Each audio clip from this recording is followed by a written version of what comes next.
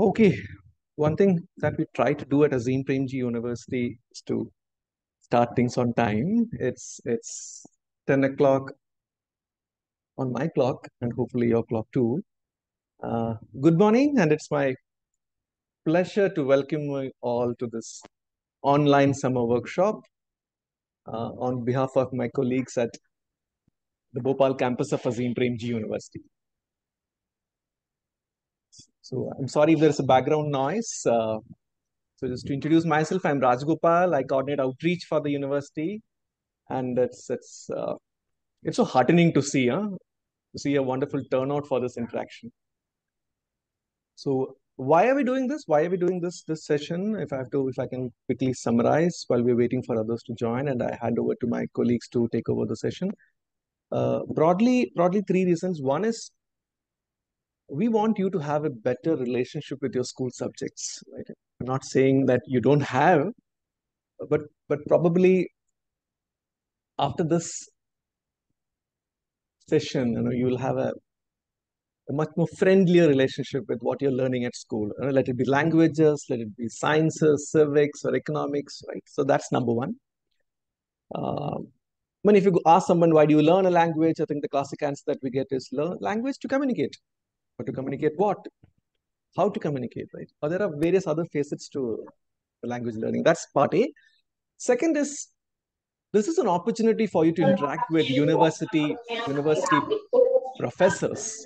Right? So I, will request people to be on mute, please. Otherwise, it's it's going to be extremely difficult. You don't have to unmute yourself unless you to speak. So, so the second part is an opportunity for you to interact with university professors. You get an idea of how a university faculty or professor would look at a school subject, what they call a discipline, right, through themes such as comics or ghazals or aliens or environment or say a union budget, right? So that's the second part of why we're doing the session. Second, we did this workshop, finally, we did this workshop at Bhopal, at the campus at the Bhopal, and based on the feedback, I would say positive feedback that we received, we thought we must take this to more students across the country right? So, so that's the quick summary why we are doing this session. One is you we want to have a much more better relationship with your school subject, a renewed relationship with your school subjects, what you learn. Number one, second, opportunity to interact with the university professors of Azim Premji University. Third is uh, the workshops that we did at the campus at Bhopal. We want to take it pan India, right? So the four days, the upcoming days are dedicated uh, for language, English language specifically, sciences, that is biology the, uh, tomorrow, then history, and then the final day we close with uh, economics and social science. Right. So on that note, I'm I'm going to I'm going to welcome my colleague uh, to take stage and then uh, take it from here. I'm not taking the time to introduce her, herself and her their work they've done. They've done. You should look at their profile pages uh, or you could introduce yourself uh, when you come on stage. And uh, I'm slightly old-fashioned. I would recommend that you should have a small notebook and a pen and a paper, whatever, to make notes of what we are saying, going to say here. I have my note and pen ready. So on that short introduction, uh, over to you, Debolina. Thank you, Rajagopal. Um, well, I um, I teach here at Bhopal at the English campus. Uh, my PhD is on the health humanities, but I came into literature because I love to read poetry. I, I write poetry. And uh, the ghazal, especially, is um, a favorite form of mine. If, if you're in India and you uh, listen to Hindi film music, uh, there's no way that um, you can escape the ghazal. And you, you must be familiar with the ghazal without really knowing that it is the ghazal or what the ghazal does uh, or even the fact that the ghazal has been written in English. Uh, so today we are going to um, have a fun session really because literature classes are also about having fun. And um, we are going to start with a Hindi film song that most of you know, um, which is also a ghazal. So I'm going to share my screen. Um, okay, sure. So we are going to start with, sorry. Yeah, with this song that most of you know, we are going to listen to it first and then launch into the session.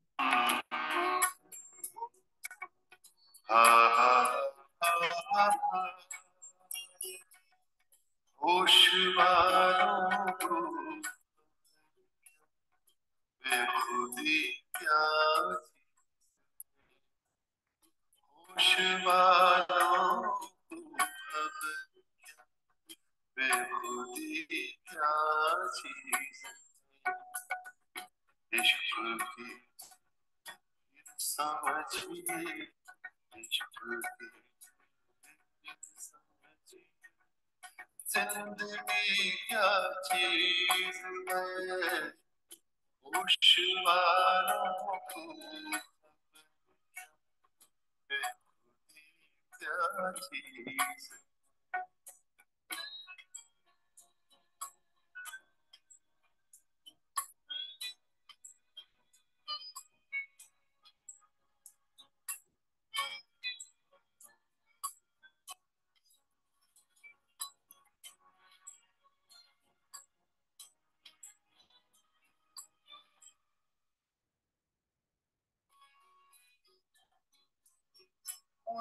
से नजरे क्या मिली?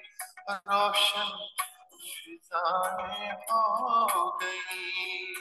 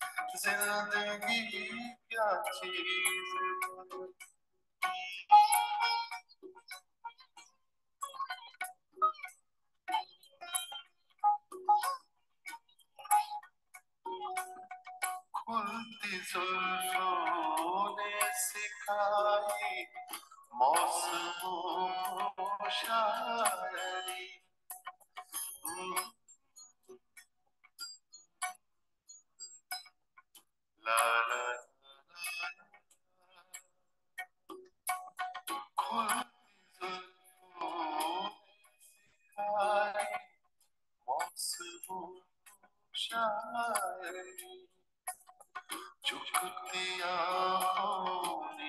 बता मैं कशी क्या चीज़ चुकतिया बता मैं कशी क्या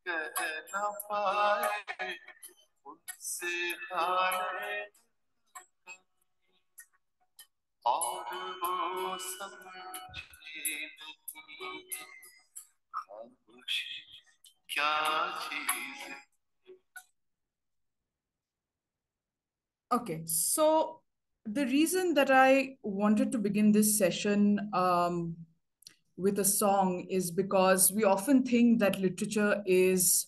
Sorry, I just need to.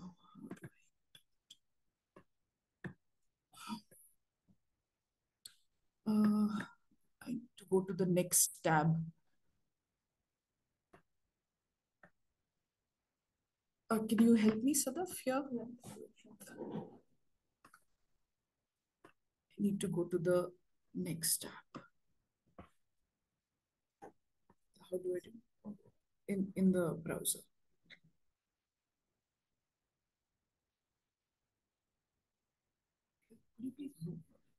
That's what I'm trying to do, but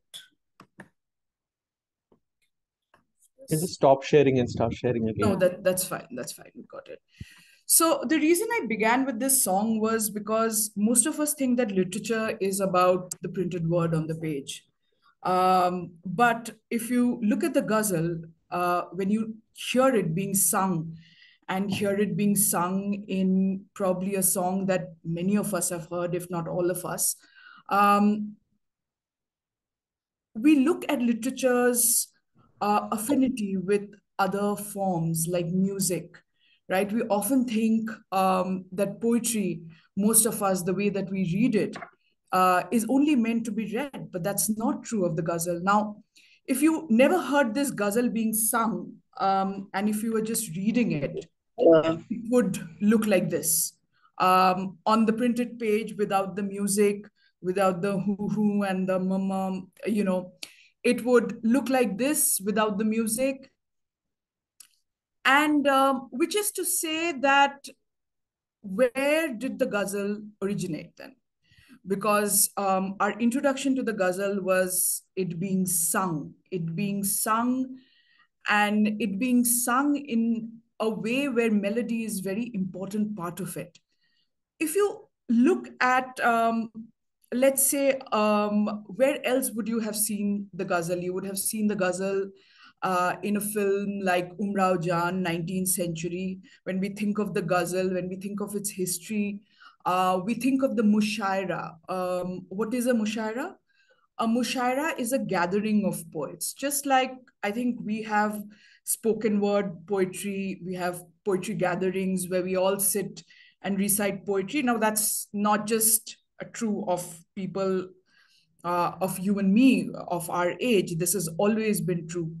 Uh, literature has been performed and it is usually uh, spoken in a gathering of people, people who get together to listen to a story or listen to each other's poetry. Now, such a gathering was um, called a mushaira, and usually the way uh, to read a ghazal there was a particular performative way in which a ghazal um, was recited or sung or told. Um, usually, uh, people sat together and um, uh, they the convention is to ask for permission, uh, is to say "arz farmaye," and uh, when you or or "arz kiya hai," right? I would ask for your consent and say "arz kiya hai" to a group of people um, around me, friends, fellow poets, and um, this gathering would respond back and give consent and say irshad, right? And this is how usually uh, a ghazal begins.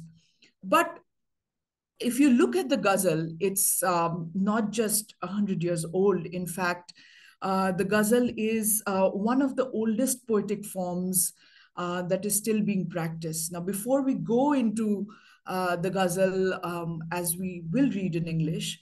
Um, what is uh, the history of the form?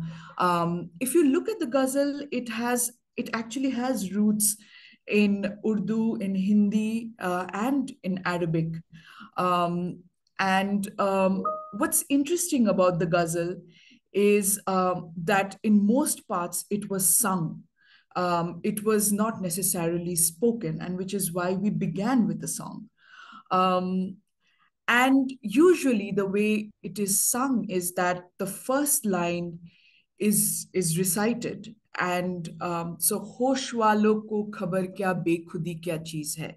So when I say this first line, it's like an introduction. It's like I'm introducing. I'm I'm introducing a thought and you guys are all sitting instead of being online you're sitting around with me in a room i introduce this line and you repeat it ish hosh walo ko khabar kya bekhudi kya cheez hai and you repeat it and then i say ish kije phir samajhiye zindagi kya cheez hai right? So there is a certain performativity. The poet recites the first line of the couplet and the audience recites back to him. And so there is a certain um, intimacy between the poet and the audience. Uh, there's a certain playfulness. There is a certain anticipation that happens when you when you introduce the first line and the second line happens. So, um, in talking about the history of the ghazal, Ahmed Ali, uh, in a in a, a, book called The Golden Tradition, an anthology of Urdu poetry, 1973, has very has uh, uh, established very interesting connections uh, with another very similar word that is also Arabic, uh, the ghazal. Please, uh, anybody who speaks Urdu or Arabic here, I'm not a native Arabic speaker, so please forgive my pronunciation. In our offline um, um, sort of session workshop here at Bhopal, we had an Urdu teacher who, who corrected my pronunciation. So I'm very happy to be corrected. So um, in this um, anthology called The Golden Tradition, Ahmed Ali actually um, creates a connection between the ghazal and the ghazal, um, in which in the English is also called the gazelle. Um, uh, no, I don't want to stop sharing. Okay. Okay. Um, so the similarity between the word ghazal and the word ghazal, which is uh, Arabic for a deer. The word gazelle, uh, in English. Um, so Ahmed Ali actually creates, uh, looks at the relationship between the word gazelle and the word ghazal or the gazelle in English. And it's a very interesting connection because um, often in, uh, if you look at the origins of the ghazal as a form, uh, especially in, in the poetry of Hafiz in 14th century, um, the word ghazal actually meant uh, the agonized cry of the gazelle or the deer or the doe um, when it is cornered or mortally wounded. I thought that was a very interesting connection for um, a poetry um, form to have, a poetry form like the ghazal to have. I mean, 500, 600 years later when we um, are reading the ghazal, we don't think of such a connection uh, with, especially with the figure of the deer. Um, now, uh, the figure of the deer is is important because uh, it is not just a metaphor for the beloved or the beloved's beauty, eyes like the doe or things like that. It is also a metaphor for the mystical quest. Now, if you ever study literature and different literary forms, uh, you'll see that the 14th century poet uh, Petrarch and then the 16th century poet Thomas Wyatt actually talk of the figure of the gazelle or the doe. And in um, romantic um, poetic traditions like courtly love poetry or even the ghazal, uh, the figure of the gazelle, uh, or like Ahmed Ali saying, the ghazal, uh, the deer has uh, interesting connotations. Uh, and, and like I said, not only as a metaphor for a mystical quest, but also for um, the metaphor of the chase. Um, because a lot of the ghazal uh, is about the female lover. It's about longing. It's about um, the theme of love. And um, it also the ghazal as a genre is um, derives from um, the Arabic um, ode qasida. Okay, so uh, mostly ghazals, uh, where, how they originate, um, are about ideas and ideals of love and beauty, um, beauty of the soul and beauty of the body, and uh, most often traditional metaphors or traditional um, analogies include um, images of rose, um, uh, cypress, dove, bulbul.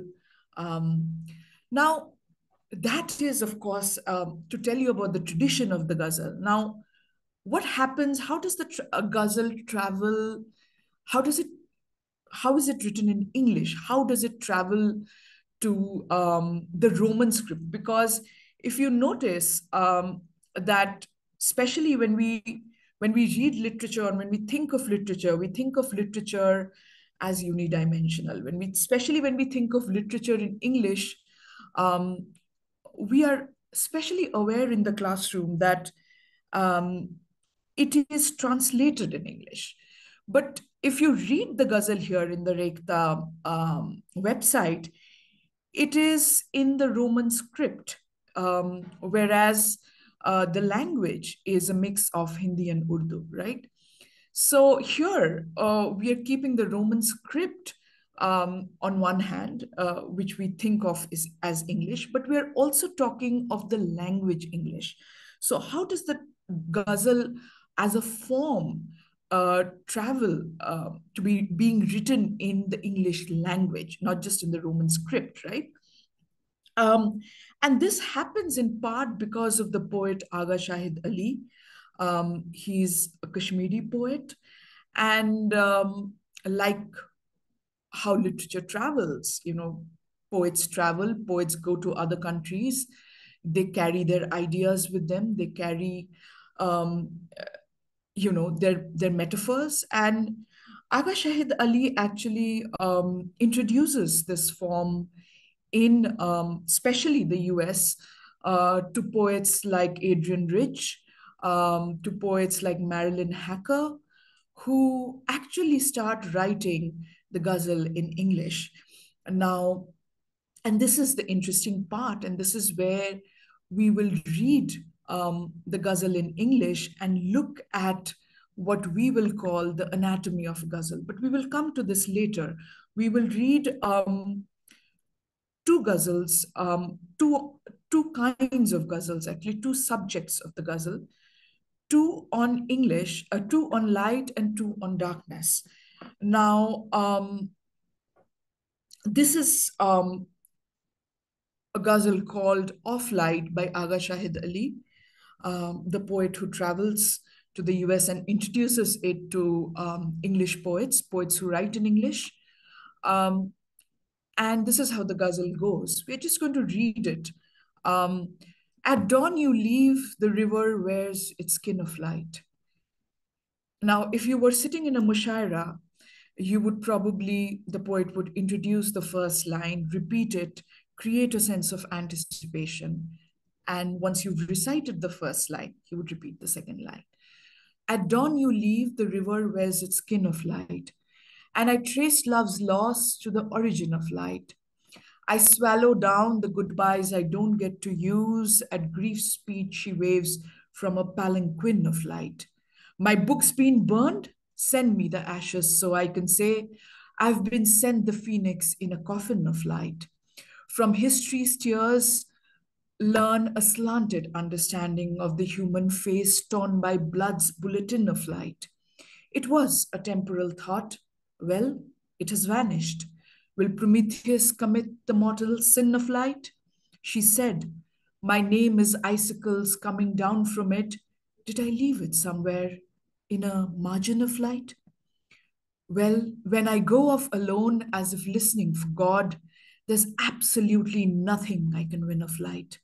Now everything's left to the imagination. A jinn has deprived even Aladdin of light.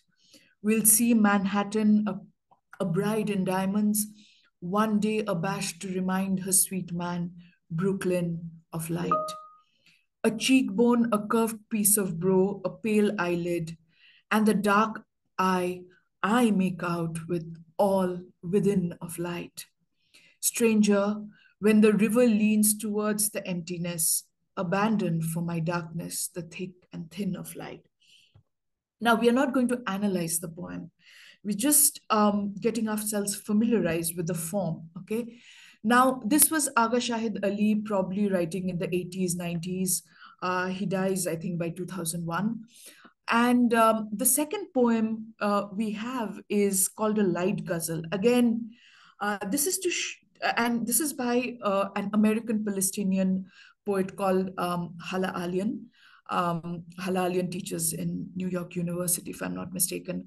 Now, why I picked up this ghazal is to show you the continuity between poets, the continuity of ideas between um, literatures of, of poets between different countries, okay?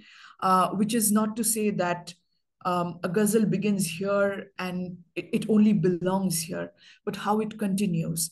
Um, usually originated um, um, in Arabic, um, continues the metaphors, the, the, the images continue in courtly love poet.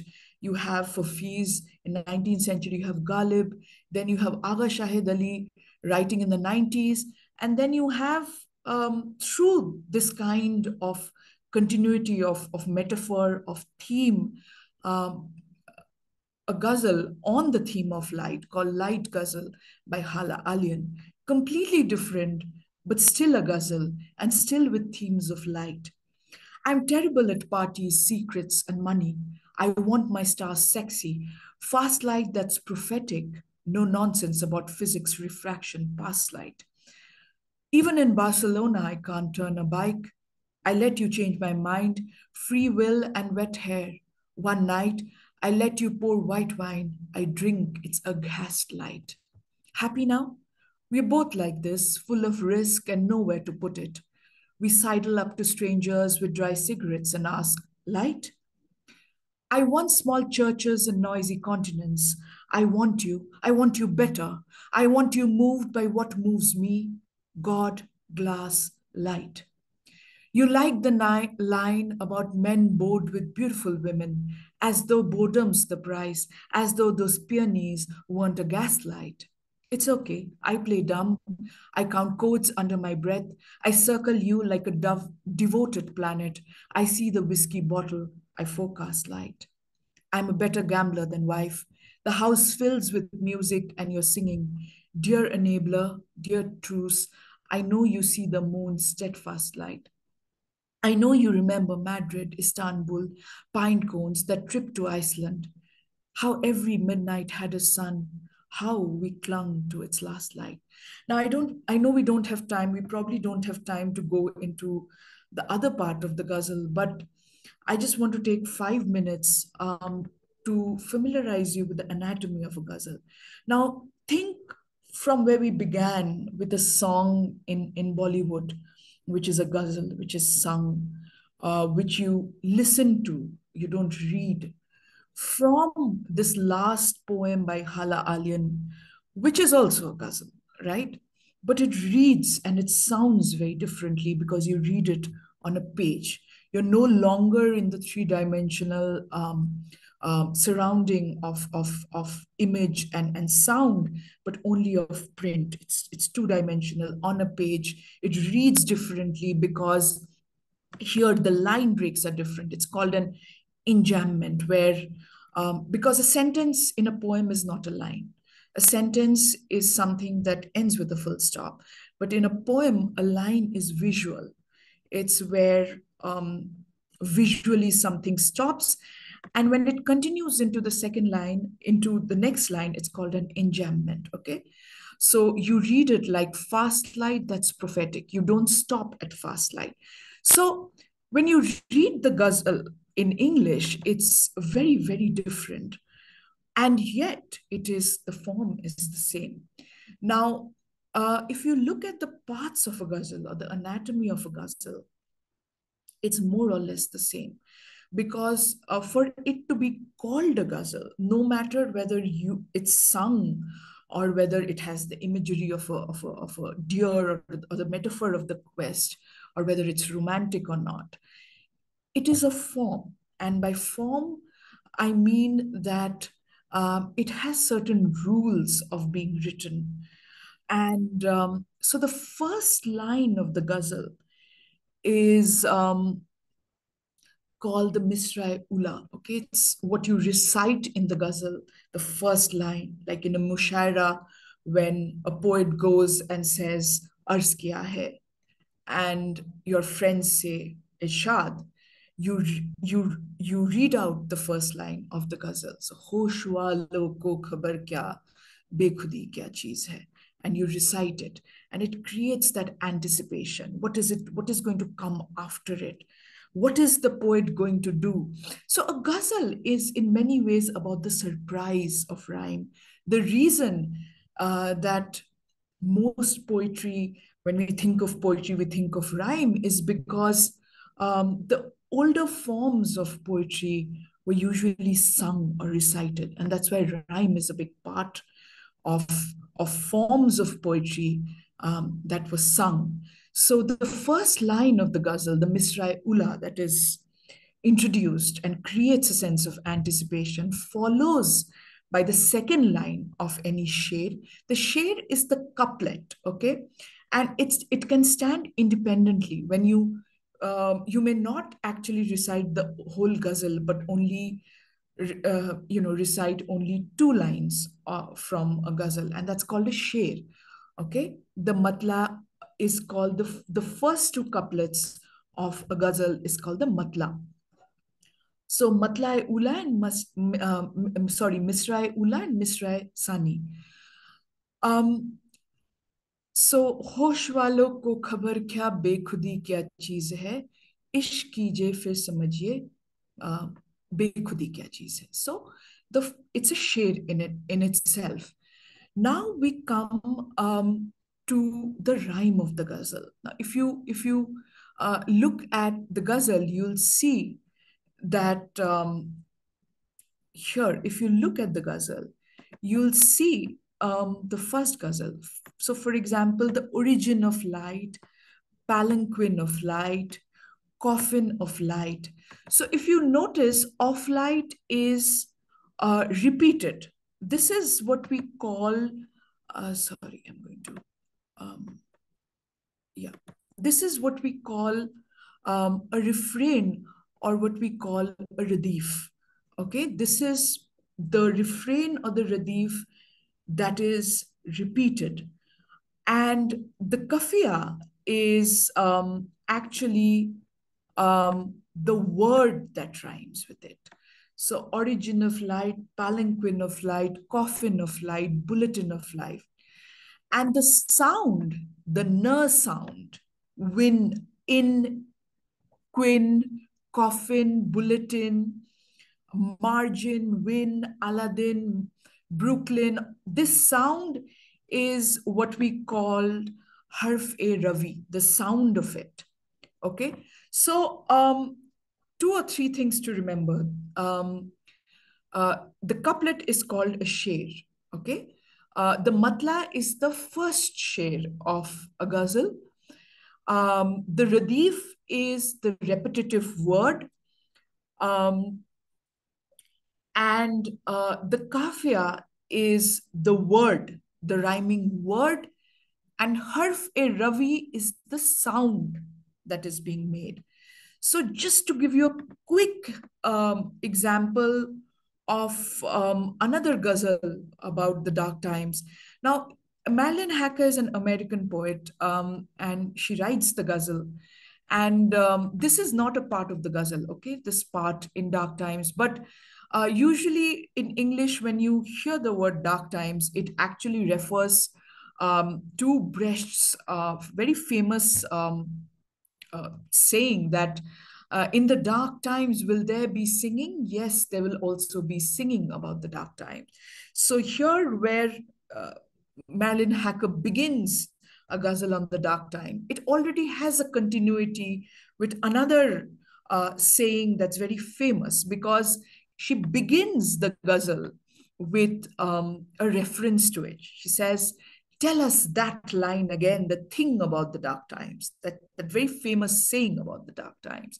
When the dark times come, we will sing about the dark times. So, again, a ghazal, uh, something that has continuity to a tradition of poetry that we've we just been uh, talking about, but also a continuity with the tradition that is very different, right? Which is uh, about singing, which is by Brecht, completely different um, German playwright. So when she writes this ghazal that is about the dark times, without even telling us, if you're a student of literature, you immediately know, uh, you've read literature to know that she's fusing uh, these two different traditions, and she's doing it in English. One is a German playwright, the other is an Arabic form uh, that is written in English. So um, I think we are running out of time, but um, this was to to introduce you to the idea that a uh, the literature that we read in English um, has a rich um, tradition, but the way that literature is is there are no boundaries. That ideas, metaphors, imageries uh, flow from Arabic to English um, across time, across space, um, and they come to us. And many a times, when listening to um, a Bollywood film song, um, we probably don't even know that uh, the way that not just the song travels, but also how uh, the rich tradition of its form travels. Okay, that it is a form, and um, uh, usually, my workshop is followed by um, we sit in a class and we try to write a ghazal.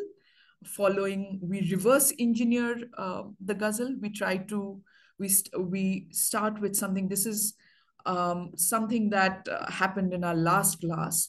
We start with a worksheet with the radif and um, we we find some synonyms. We find certain rhyming words of so the kafia can be anything. So in our last class somebody came up with some very interesting um, kafiyas so somebody said pillow of light and halo of light. So we reverse engineered uh, how it would be to write a ghazal.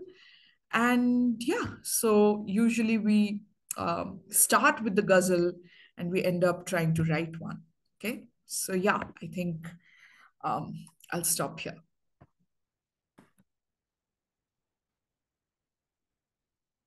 Thank you, Debolina. I think you gave a what do I say, a slightly different way to look at both ghazals, Hindi songs, poems. Uh, any questions? I think I think somebody had pinged me that they want to ask some questions before we move to the next session. Pratiti, do you want to just open it up so that people can ask questions if they have?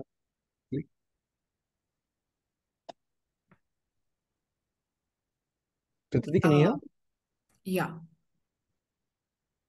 Let's see if I can do it. I think there is uh, someone called Kambapati Kambapati Vamsi who's has a Yeah. raised hand. Yeah, Vamsi, you can, you have a question, you can ask. You're muted, Vamsi. You have to unmute yourself. Pratiti, can you hear? Can you let them unmute themselves, please? I'm not able to find that option.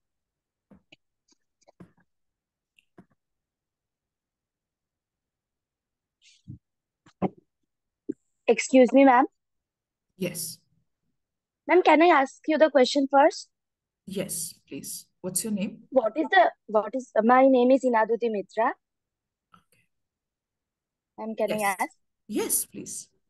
what is the importance of ghazals and how it helps us in our life? A ghazal or ghazal? Ghazal, the topic of today's discussion only. No, it's not ghazal. So ghazal was uh, the Arabic word for deer or or.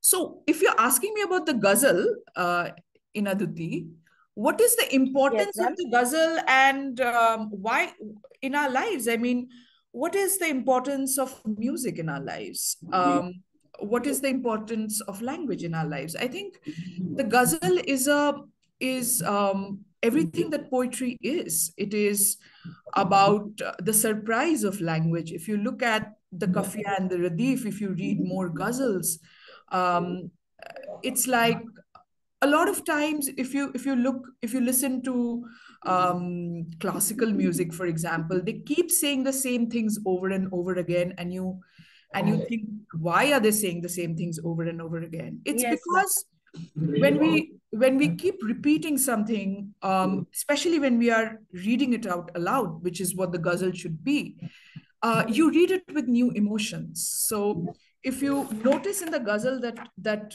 we read by Agha Shahid Ali, there are various punctuations. So eh, in in in Indian uh, languages, we also call it bhav or something, right? The emotion behind it. So the, the, the surprise in the ghazal, the fun in the ghazal, the beauty of the ghazal is the relation between the refrain and the sound. So origin of light, palanquin of light, but you don't say it like that. You don't say origin of light, palanquin of light, coffin of light. Bullet. You don't read it like you're reading news. Um, in fact, different people will read it differently. And this is why we read literature because everybody brings a new interpretation. Everybody brings in a new emotion. When you, it's like, like I, it's my favorite, um, I think metaphor to use. It's like holding up a snow globe to the sun and turning it around and seeing it from different angles. So uh, in a classical music, they keep saying the same things hundred times in a in a song because you bring in new emotions. And when you keep using language over and over again, you look at the possibilities of language not as meaning, but as bhav, as uh, as tone, as as um, pitch uh, in the way that you say it. So in class, when you read literature, the same book uh, might be read by 30 people in a classroom, but they have 30 different interpretations and that is the fun of being in a literature classroom. Um, is nobody reads it in the same way. So finding that freedom in language even though we are all reading the same thing we read it differently with different tone emotion. And and why we start with poetry is because the reading of the poem is so important. Knowing that a line is not a sentence is important. So knowing the difference between what you're hearing, where the line ends, versus what you're reading, how to read, is very important in a literature classroom and also in life. To, to read a text message, we use these smileys now, like what we call paratext, so that there is tone to it, right? So, yeah, because of that. Thank you, ma'am. I understood. Thanks, Debilin. I think you answered the importance of language education in school. I think it was very late. I also realized that, you know, to develop uh, sensitivity towards others, for that emotional capacity, this, that happens through language education. And yes, I think there's a question before we go to the next segment uh, on comics. Uh, Raina, if I'm pronouncing your name better. Last name, sir. Yes. Last name Raina, but I didn't want to it's mispronounce your first name. But how do you pronounce your name? Uh, Ragnia. The I is silent. Ragnia. Yeah, yeah. Uh, good morning, ma'am. My question is uh, that's very basic, two questions. The first one is how many different types of ghazals are there and what purposes do they serve because they're different from each other or if there are different forms? And uh, can we trace the origin of ghazal to one specific region or is it just like spread out between many countries? Okay, fine.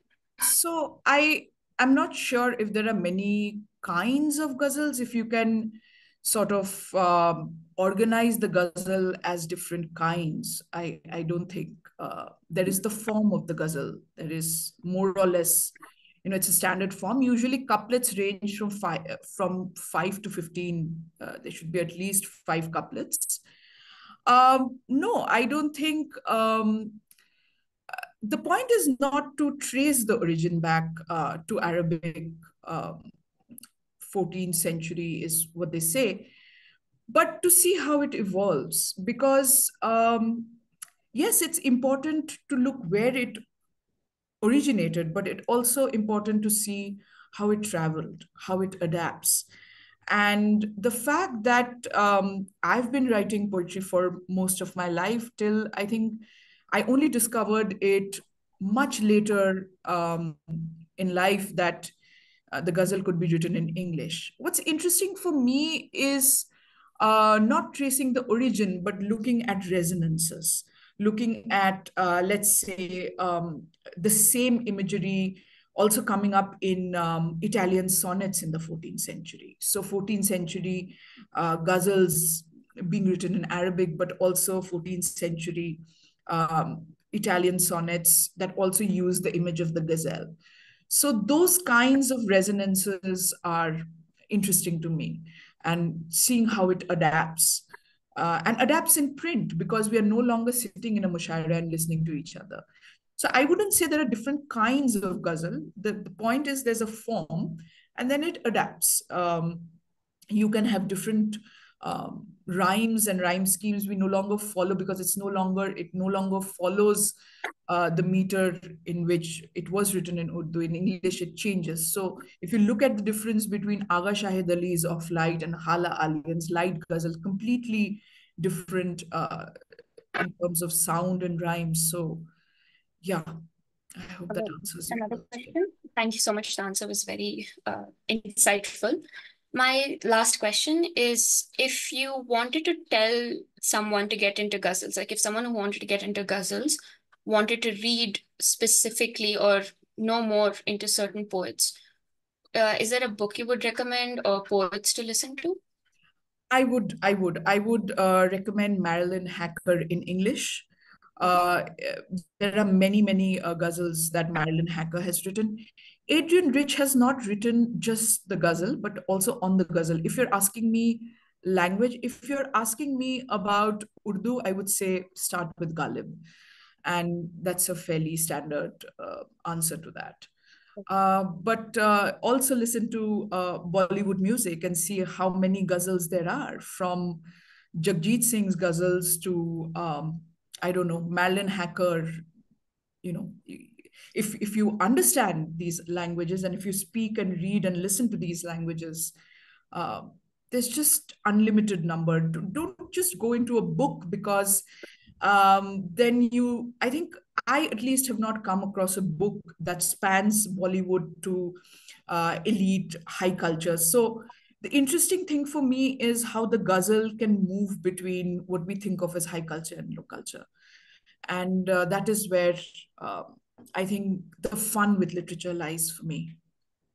Okay, thank you Okay. so much. I think in the interest of time, we should take last two questions because people are two people have raised their hands, and then we will go to the next segment. Uh, but uh, I think I think language education is in safe hands, Debolina. At least we're listening to the question. Uh, so Ameya and Junie in that order, and then we end this segment. Ameya, what's your question? See, you have raised your hand. Good morning, ma'am. Uh, first of all, I do want to share that uh, this session was informative because uh, I really wanted to pursue English literature, and this kind of gave me like a preview on what it would look like if I went into that stream. So my question is, do uh, ghazals have a specified structure, as in like a line length or a rhyme scheme, or do they just free flowly? I mean. Yeah, in the Urdu, they did have a specified um, uh, sort of meter, but in English, uh, there has been experiments with it.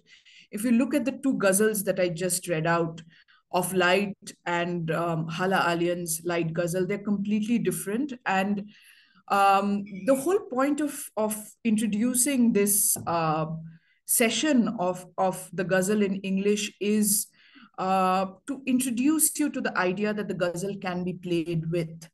And if you're just starting out, if you're trying to write a ghazal, I would say that don't restrict yourself to meter. Um, but yes, the the more strict uh, rules of the ghazal would be between the kafiya and the radif, and the harfi ravi, which is the sound. But you can you can even play with that in English, which was not necessarily possible perhaps in languages where it originated, where the rules of the form were stricter. So I would say that.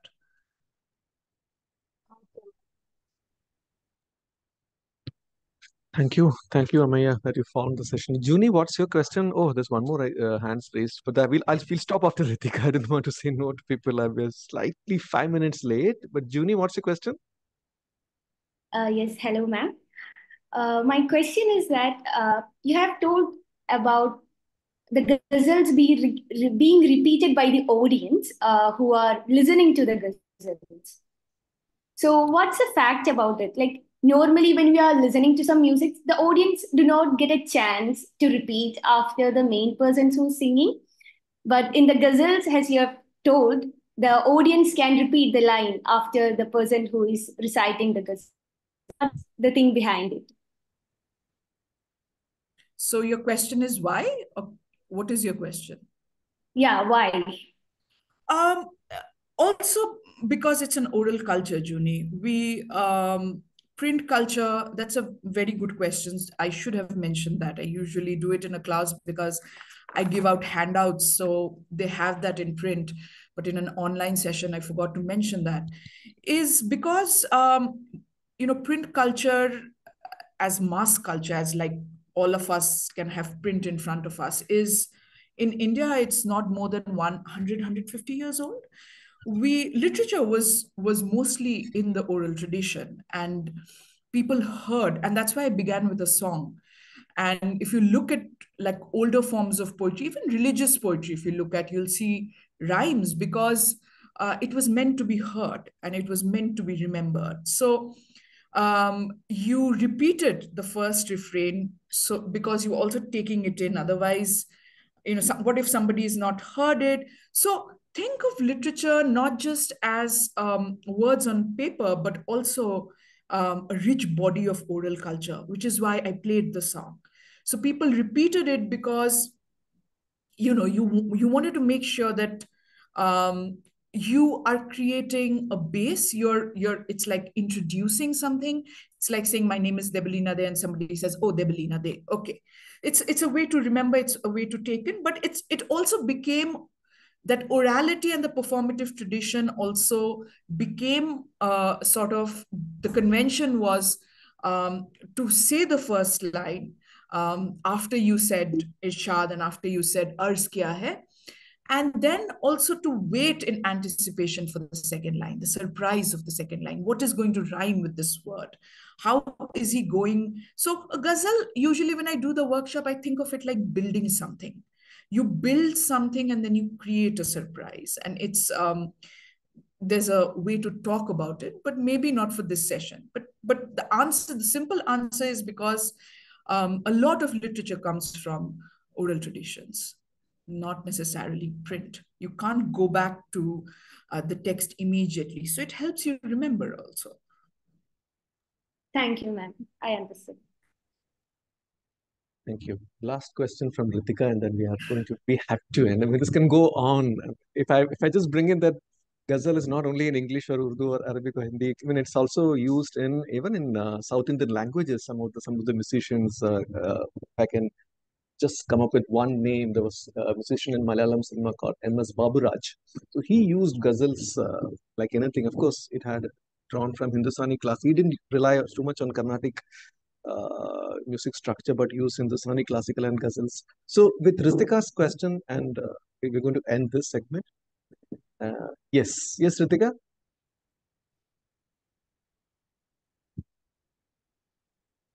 I don't know. Some people might have raised the hand uh, by by mistake. So, Debolina, thank you very much. I think if Ritika, you don't have a question, we should we should uh, end this segment, and I would I would request my uh, colleague uh, Neha to be on on screen now. But if any closing comments, Debolina, over to you, and then before we invite Neha onto the screen. No, thank you. Thank you for being an attentive uh, audience and asking these very um, insightful questions. I think, um, yeah, thank you. Thanks, Debolina. So we are going to shift gears now, and uh, we're going getting into the world from Ghazal. We're going into the world of comics, right? And uh, Hello, hello. comics is something that I'm sure you, you all would have come across if you were kids. I mean, my I have to go back. I started reading comics first in, in not in the English language, but in the language of Malayalam. Right? And, and then, of course, later transitioned to this magazine called Tinkle. Uh, but now we have reached the world of people reading something called manga. So, but then uh, I'll stop now because there is somebody who's an academic who has tried to look at uh, comics beyond the frames and those pictures. Uh, I'll leave it to the leave it to the expert to take it from here, Neha. Over to you, Neha. Thank you so much, Rajgopal.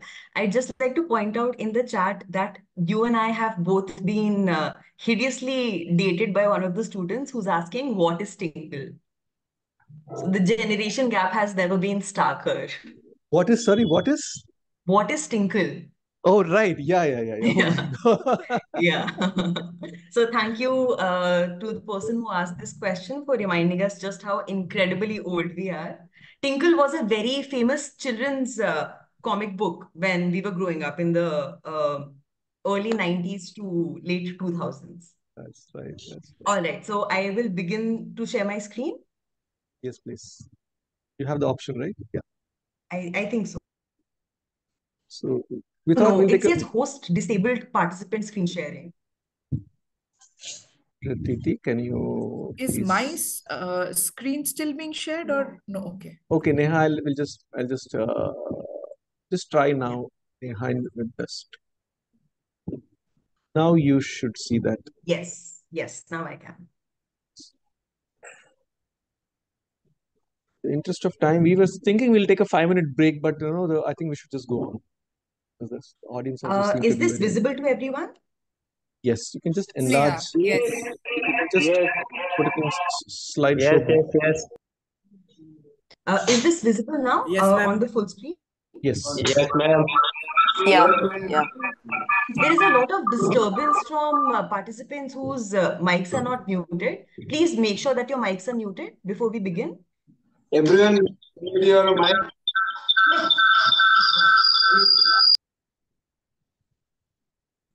Uh, Saeed Bilal, your mic is not muted. Could you please mute yourself? I think Pratiti, you can mute all and they stay muted for the next uh, 15, 20 minutes of the session. Can you do that, Pratiti? I'm not able to find that option for some reason.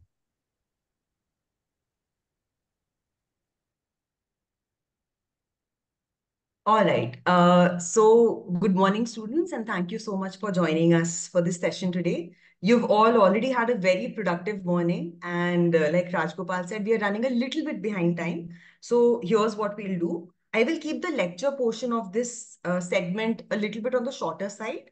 Uh, it's uh, nearly 11 now. Uh, we'll finish with the lecture portion by say 11:20, 11:25 at the maximum.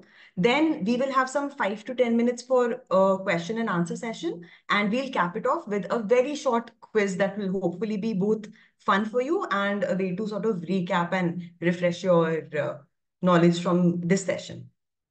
All right. So, like my colleague Rajgopal was saying, uh, one of the benefits of uh, working within the medium of something that is within the realm of popular culture, like comics, is that you can already assume a baseline level of familiarity among your audiences, right? So you might not necessarily know a lot about the ghazal, but that is not true for something that is so popular as the comic. So before I begin, I would actually like to ask you, what kind of comic production are you familiar with as students? It could be anything. It could be comic strips from the newspaper. It could be comic books, graphic novels. Can I just have a few names in the chat so I know roughly what level of familiarity I can assume? Just some titles of comic books and graphic novels that you have read.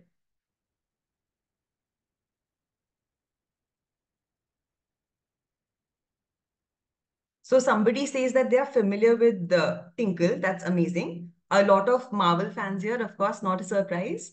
Uh, Peanuts, yes, of course. Uh, it was a staple of newspapers when I was growing up. Tinkle and Marvel manga, which happens to be a Japanese uh, comic form. Supandi, of course. Uh, Calvin and Hobbes, yes, of course, legendary. Archie's, very happy to see that Archie's still retains its dominion over the imagination of Indian students. Persepolis, excellent, excellent. Uh, all right. So I'm very happy to see that there's a great deal of familiarity with the form. Now, why do I say that there is a distinction to be made between comics as a medium and all of these various examples that you've just given me? The examples that you've given me are specific manifestations, right? The specific uh, productions within the bigger medium of comics. So a comic book, a comic strip, a pocket cartoon, or a graphic novel is not the same as comics as a medium. Think of the medium of comics as a bucket or a balti, right? And within the possibilities presented by this medium or this bucket, there are all these productions which have different rules. They have different uh, aesthetic uh, criteria. They have different, uh, uh they are meant to provoke different kind of responses. They are produced with different ends in mind, right? So you have this bucket, which is the medium of comics. And within that, you can create all sorts of uh, text like the comic book, the graphic novel, the comic strip, etc., etc. So one of the main things that the session intends to do for you is to defamiliarize the comic medium as opposed to the various productions that you're already familiar with, right? So why is it necessary to defamiliarize a medium that is so familiar to a student body like yours, right? What is gained when we set out to defamiliarize something? All right. Now, in my experience of English classrooms within the country, English uh, classrooms within the school setup, there has often been a privileging of meaning and interpretation over form. I don't know if uh, it's the same at all of your schools, but when I was growing up and when a lot of my friends were growing up, my colleagues, my uh, sibling were growing up, the the first thing that you did in the English classroom when you came across a text, no matter what kind of text it was, was ask yourself, okay, what does it mean? And unfortunately, this instant hankering after meaning, after interpretation, it's not something that is limited just to the written word, right? It's something that has sort of spread to various cognate forms and disciplines. So you look at a painting and the first question you ask yourself is, what does it mean? You look at a sculpture, you ask yourself, what does it mean? You watch a film, you ask yourself, what does it mean? Yeah. And where does this instinct come from?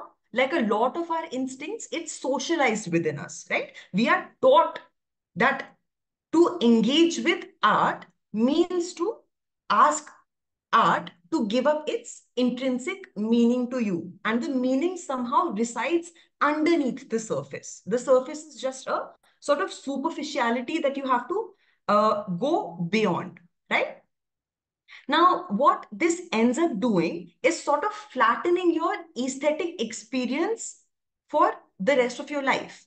Because then you choose to look beyond the granularity of form and how different forms produce very, very different aesthetic experiences and you engage with them in the exact same manner. So it's basically like being handed a hammer and then looking at all of these various things and thinking of them all as nails.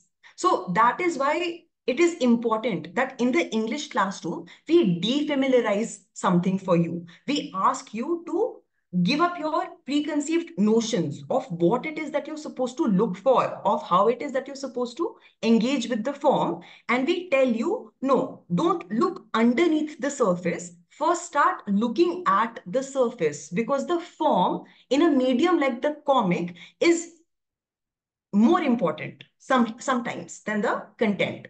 Now, what do I mean when I say form?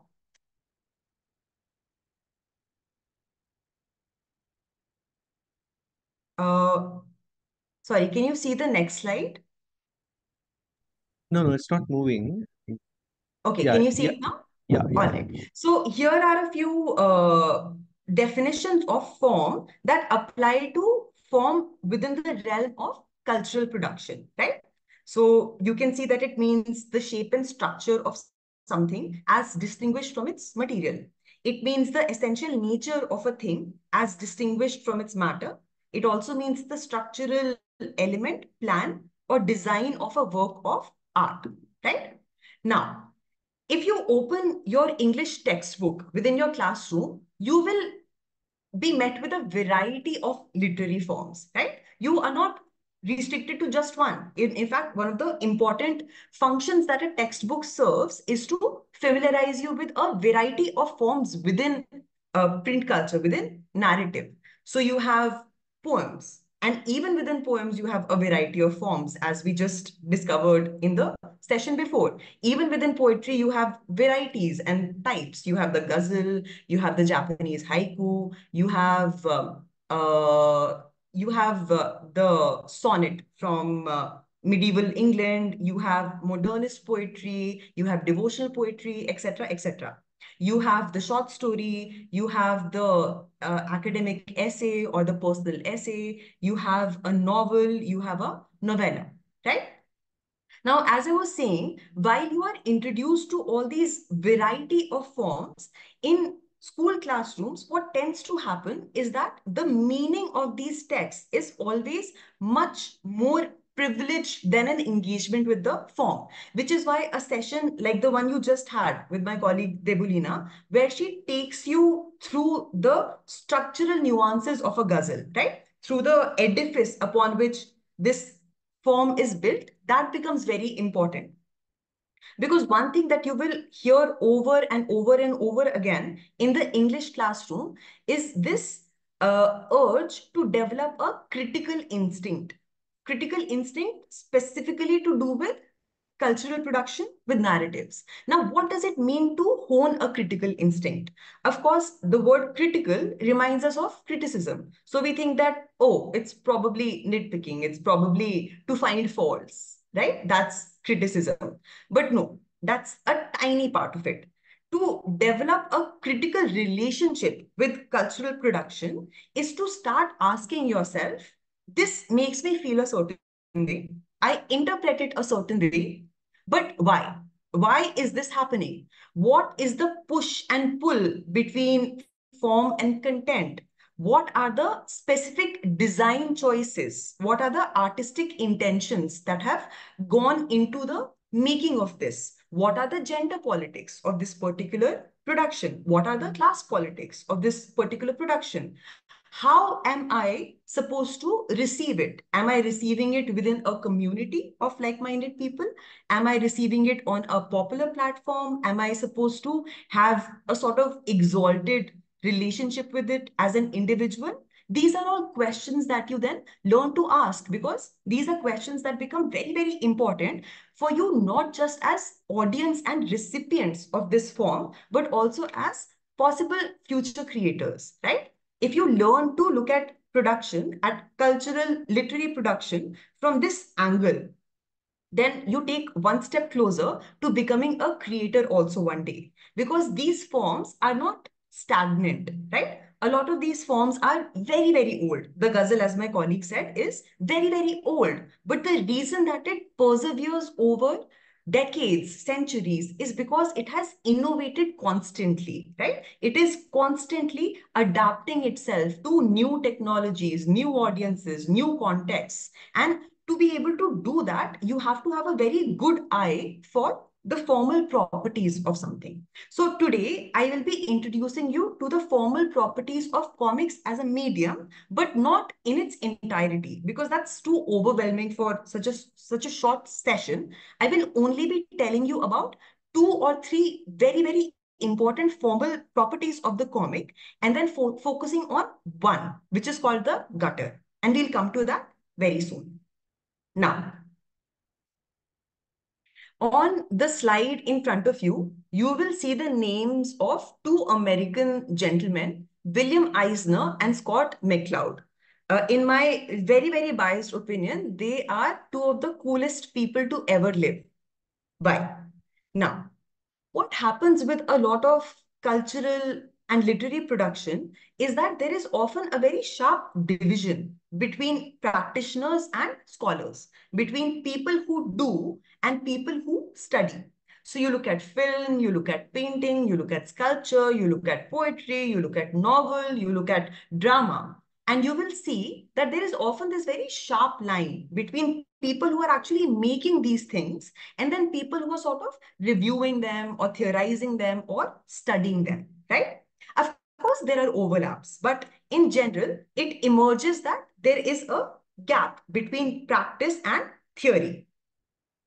That gap, I'm very, very happy to tell you, does not exist for the comic as a medium, right? There is no sharp distinction between the practitioners of comics and the theorists or scholars of comics. The very first wave of comics criticism that arose in the world was pioneered by people who had spent their entire lives making, consuming, distributing comics. So people like Eisner and McCloud. Now, how does th- how does this happen and why does this happen? This happens because comics as a medium are thought of as low culture for a very, very long time, right? They're associated with the newspaper, they're associated with a subliterate population, they're associated with the children, they're associated with the market. And so therefore, uh, the academy is gate kept for a very long time. The comics are not thought of as suitable material for serious study. And so therefore, who will do the serious study? Because for any medium to thrive, to innovate, to challenge boundaries, you need to study it. The practitioners like Eisner, like McCloud, they thought to themselves, if they won't let us reach the high culture spaces of universities and academies, we will do the studies ourselves in our artist studios, in our comic book publishing companies. So that is what they did. The very first textbook come out of this medium is called Comics and Sequential Art. And it was written by this American gentleman called William Eisner, who had been involved in the world of comics since he was a 10 year old. As a 10 year old, he loved sketching. And uh, his father passed away quite early so he became responsible for supporting his household also so as a very very young child he took up the job of selling newspapers on the streets hey! i'm sorry could you please mute yourself ho gaya everyone please make... theek ho gaya Neha, can you do me a favor? Can you make me yes. uh, a co-host? I made you a host by mistake. If you can just, okay. I, I'm going to unmute everybody Yeah, yeah, I think uh, somebody has muted everyone. But can you mute in such a way that they can't unmute themselves?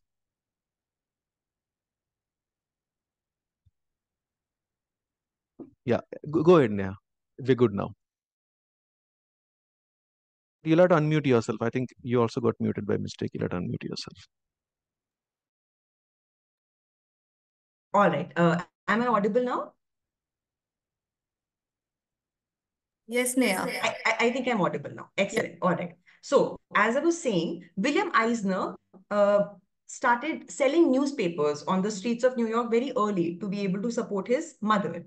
And uh, newspapers back then had supplements that were composed of nothing but comics, right? So he got uh, involved in that world very early on. He started sending off his uh, sketches, his caricatures, his cartoons to various newspaper companies, and they started publishing him. And very soon, then, as he started maturing into his early 20s, he also opened a studio for himself. And uh, very, very interestingly, when America joined World War II, Eisner became one of the first illustrators to be used by American government to uh, sort of further the war effort. Now, why would an illustrator be useful for a government in furthering the war effort? What is it that Eisner could do? So, what Eisner could do was he could imagine what the medium of comics could do in terms of simplifying information and disseminating communication. So a lot of the soldiers that were on the ground had access to very high-tech weaponry, very high-tech tanks for the first time. And these things fell apart all the time, right? These things require a lot of upkeep, a lot of maintenance. And that maintenance could not always be performed by experts and technicians on the ground because remember that they were fighting on another continent altogether. So the soldiers had to be responsible for the maintenance and upkeep of their own equipment. But the soldiers are often not mechanics, they're not engineers, they're not trained to do this. How are they supposed to deal with such high-tech weaponry, such high-tech uh, uh, uh, tanks? They were able to do it because Eisner made very, very simple visual uh, comic strips that sort of broke down the the high-tech uh, ammunition and the tanks that they had and could in a very granular fashion show which part went where or which part needed to be oiled very frequently or basically how to put things back together once they have broken down right? So it is this kind of far-sighted vision that served Eisner so well that he was eventually invited to teach comics, the medium, at a university. And the book Comics and Sequential Art basically arose as a textbook out of Eisner's experience with teaching comics to a bunch of students. So the very first formal theoretical definition of comics as a medium that we get is from Eisner. And how does he define it? He defines it as sequential art. Remember the balti, the, the bucket of comics as a medium, it means to Eisner sequential art. An art and literary form that deals with the arrangement of pictures or images and words. And why does it involve the two pictures, images, or words? Because it narrates a story or dramatizes an idea, right? Now, another incredibly cool man who built on Eisner's theory is Scott McCloud, who wrote one of the best uh, books on comics called Understanding Comics. And Understanding Comics is illustrated. It's actually a book on comics theory that is written in the form of a comic book. So I highly encourage everyone to Google that. It's a blast to just read this book. Now, McCloud builds on the theoretical foundation provided by Eisner and refines the theoretical definition of comics a little bit more. So he says, comics as a medium involves juxtaposed. What does juxtaposed mean? It means set against each other, right? Adjacent to each other. All right. So juxtaposed pictorial and other images in deliberate sequence. Remember, sequence becomes very, very important to the definition of comics as a medium. So juxtaposed pictorial and other images in deliberate sequence intended to convey information and or to produce an aesthetic response in the viewer. So what does it do? It basically opens up the world-making possibilities of comics as a medium. Comics no longer have to be restricted to just small funny cartoons or children's stories or even superhero graphic novels. No, they can convey information. They can act as in, they can act as instructive pamphlets, right? They can produce any number of aesthetic responses. So basically, now there is a very clear distinction between the medium and the multiplicity of things that it can do and the things that are being done with it currently, right? So what these men have done is they have enlarged the world-making possibilities of comics as a medium. They've busted wide open for us to just imagine what we can do with this medium. Its productive potential is infinite. All right. Now, like I said, sequence becomes very important to the definition of comics. What does sequence mean? It means movement. It means something changes, right? So take a look at the next slide, which takes examples from Scott McCloud's Understanding Comics of what sequen sequentialization looks like. All right. So you will see that McCloud makes very clear distinction between one isolated pocket that uses the vocabulary of comics and then sequence that actually falls under the ambit of comics as a medium, right? So if you look at figure one, in the first square, you have a man in a top hat, right? A Victorian looking gentleman uh, who's sort of holding his top hat. Now that under the definition of Eisner and McCloud's uh, formulation of comic, that single square cartoon, it's not a comic. It's a static moment in time. There is no sequence involved. There is no activity. There is no motion. So that is not something that falls within the ambit of the medium of comics as defined by Eisner and McCloud. And remember that it's a definition that is widely accepted by both the practice, the practicing community as well as the scholarly one. But you can convert it into a comic, right? You can convert it by sequentializing it. So what do you do? You juxtapose another square and introduce movement. So in figure one, what happens? In the next, in the next panel, the man is lifting his hat or doffing his hat. So sequence has been introduced, movement has been introduced, dynamism has been introduced, right? That happens in all the other examples you'll see here. In the second one, there's a gun going bang. In the next one, you see a woman scared of this uh, gun. In figure three, you have the sun setting. Uh, so in the second one, the sun goes further down into the sea. It becomes clear that it's a sunset that we are witnessing. In the last one, which is marvelously simple, you have the act of blinking. So it's a tiny second moment that is captured in this sequence.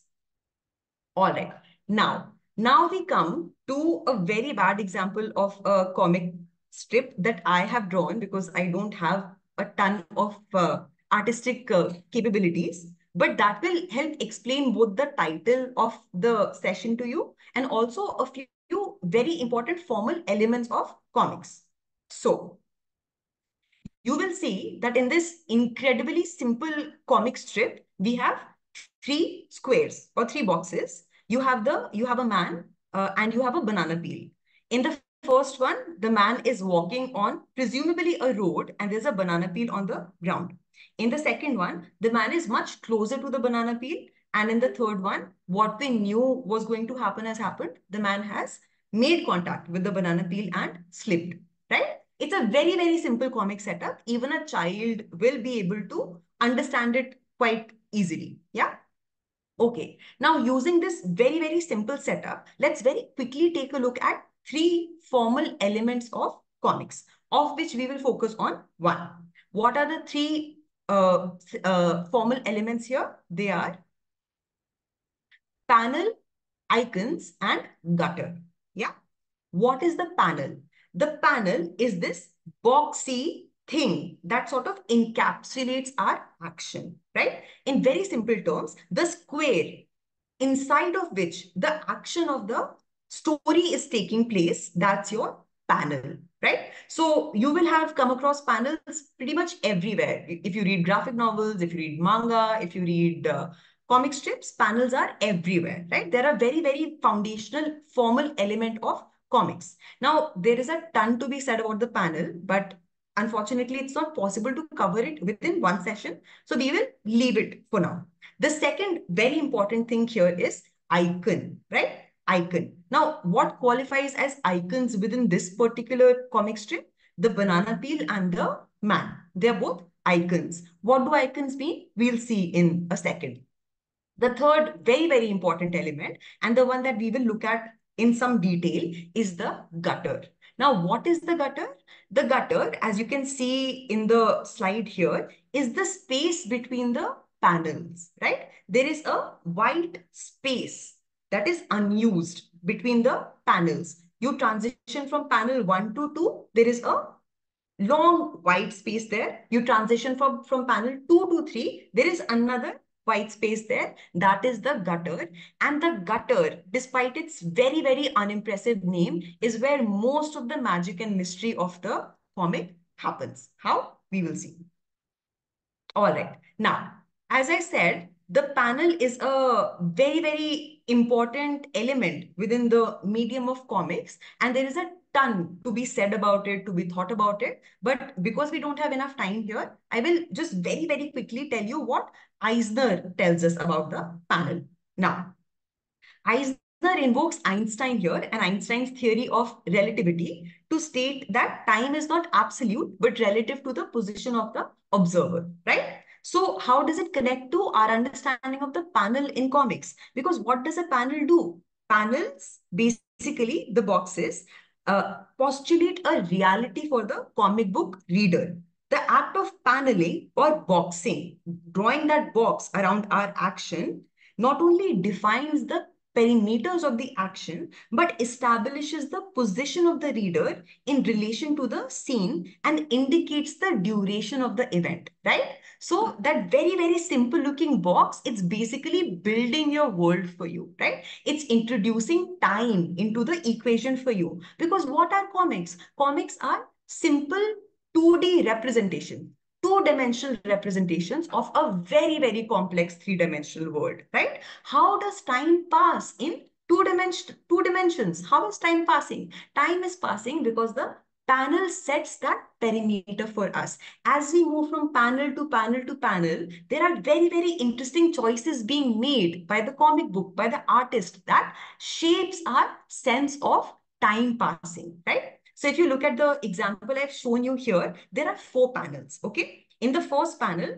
uh, and all four panels have the same icons. They have a tap and they have a bomb. Now, the four panels basically show you the passage of time. Yes, how do they do that? They do that by relying on your knowledge of how long it takes for a drop of water to fall from the floor. So you look at the first box, the drop of water is just forming underneath the tap. In the second one, it falls with a splash, right? So we know that barely a few seconds have passed. That is how long it takes for water to fall in real time. Yeah. In the third one, another drop of water starts forming. In the fourth one, it forms and bam, the bomb goes off. So in these four panels, how long has it taken for the bomb to go off? Barely a few seconds, right? Through some very, very smart choices and through very intelligent paneling, our sense of time has been so carefully directed by this very, very simple 2D drawing. So that is paneling. All right. Now, what are icons? Icons are basically any image that is used to represent a person, place, thing, or idea. Now, of course, comics are not comics without the visual element, right? So the visual element is often introduced in the form of these icons. Yeah. So if you will see here, you have a very photorealistic heart, right? A photorealistic heart is a heart that is very true to what the actual human heart looks like. But when you think of the heart, when you think of representations of the heart, it's not this medically accurate heart that you think of. You think of the simple iconic heart like this, right? So that is how icons basically uh, sort of simplify and then amplify ideas for you. Yeah. So if a comic book was set in Paris, how would the comic book uh, convey this information to us through icons? It might use the figure. It might use the figure of the Eiffel Tower, and we will instantly be able to locate that uh, story in in place and time.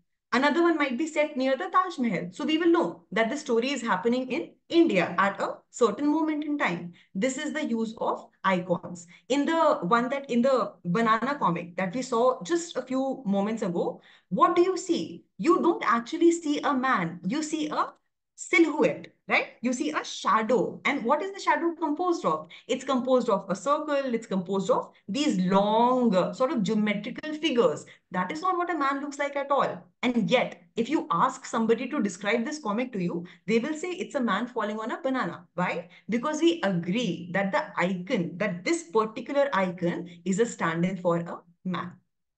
All right. So that's your icon. This brings us to one of the, two the most exciting formal element of uh, of comics as a medium, which is the gutter. Like I've already said, it's the white space between two panels. Now, traditionally, when you are reading comics, no matter what the form is, it could be manga, it could be comic strip, it could be comic book, what do you usually think of as the meat or the substance of the story? What do you think of as the content? You think of the actual drawings within the boxes as the content. That is where the story is happening. That is where the fun is being had, right? The, the small, tiny boxes of white space, that is basically just a design element. That is, that is the common, commonsensical everyday thinking that goes into reading a comic. But if you are aware of comics at a formal level, you will see that the story actually takes place not in those painstakingly designed and filled panels or boxes, but in this small sliver of white space that we so casually overlook, right? This blank space, that is where our story is happening. So if you look at these two panels right in front of you, what is happening? In the very first one, you have a clock that is set to 10. In the next one, you have a clock that is set to 10, 5. Now, both of these are static images, but when you read them, when you interpret them, you interpret them as telling you that the time has passed. Now, where has the time passed? The time has not passed in the boxes. The time has passed in the little sliver of space between the two boxes, right? The time has passed in the gutter. As you move from panel one to panel two, that space, that small sliver of space, that gutter is where the time is passing those five minutes and taking you to the second panel where it's now 10-5. All right. So how does the gutter work? The gutter works by enabling this process that Scott McCloud calls closure. C-L-O-S-U-R-E. So comics give us words and pictures, right? What do we give to comics? We give to comics our imagination. Comics as a medium requires so much more audience and reader participation than any other medium, which is why uh, a lot of comics pedagogy has shown that when young children are exposed to comics as a medium, their intellectual development happens at a much faster and sharper rate because no other medium will require this sort of active uh, co-creating on the reader's part. Not a film, not a television show, not music, not poetry, not short story, not novels. No, comics require a much greater degree of reader participation. And that participation is what we call closure. So what does closure do? Or what is closure? Scott McCloud defines closure as seeing the parts but perceiving the whole. Seeing the parts but perceiving the whole. And this process takes place in the space of the gutter. And without this process, it is not possible at all to read comics. In fact, without closure, it's not even possible to be a person. Why? Because we see the parts but perceive the whole the entire time that we are alive and participating in the world, right? So what do you see right now on the little box in front of you, the Zoom screen? You only see my head and my neck, right? But you're not sitting there in your homes thinking that I simply don't exist underneath my neck, right? You're not thinking that I'm just a disembodied head talking to you. No, you are imagining that beyond the panel of the Zoom box, I have body parts, I have legs, I have hands, and that the wall that you see behind me is not the entirety of my house, right? This wall is part of a bigger room. That room in turn is part of a house. So what is happening? You are seeing parts of me. You're seeing parts of my house, but you are perceiving the whole. You are situating me in my entire context. This becomes very, very crucial to do when you're when you're reading comics. Yeah. So, like I said, the action of closure is done by you all the time in your real everyday uh, living. So, for instance, in the uh, in figure one, you see uh, a panel where something is drawn, right? And if I ask you to describe what is drawn, you will say, oh, these are many bottles of Pepsi. But if you look at it very carefully, you can't actually see bottles. You can only see parts of bottles, right? You're only perceiving the parts, but you are telling yourself that logically, if you see the front half of this bottle, then the back half also exists, right? So that is perceiving, uh, that is seeing the parts, but perceiving the whole. In the second one, you see an open wallet. And what do you see in that open wallet? You see half dollar bills, you see half cards. Now, logically, the dollar bill that you see, the half of it is that part that you see outside of the flap, right? You don't tell yourself that, oh, this person is carrying only half a dollar bill or half a card. No, you tell yourself the rest is very much in there. It's just inside the flap and I can't see it, right? So that is another act of everyday closure. So what does closure look like within the world of comics, within the medium of comics? Uh, so like Scott McCloud says, it's a medium, comics, where the audience is a willing and conscious collaborator and closure is the agent of change, time and motion.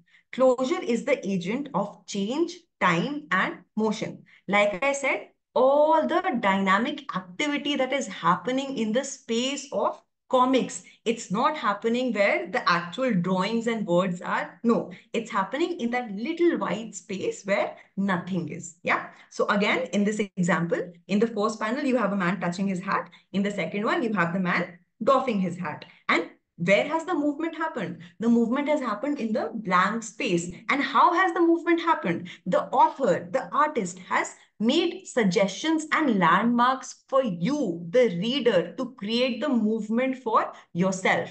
The movement cannot happen unless you are a willing, conscious collaborator. Yeah, that is closure.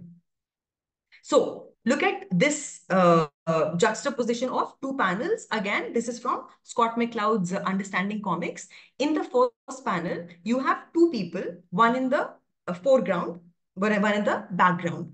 Uh, the foreground person seems very terrified. The one in the background seems very terrifying. So what is happening? Apparently, the person in the foreground is being attacked by the person in the background, right? And the person in the background is saying, now you die. Then suddenly scene shifts. In the second panel, what do we have? We have the silhouette of a city at night. We have the moon, which tells us that it is night. And we have this bold exclamation, which we read as a shout. So can somebody unmute themselves and tell me, how do we read this panel? Is it possible to unmute?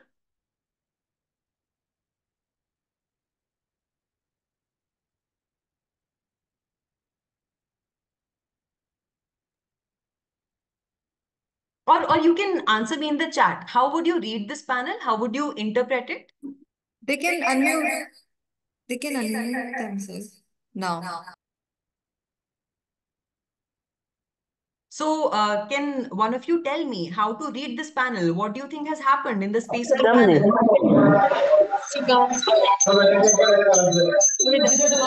There's a lot of uh, oral disturbance.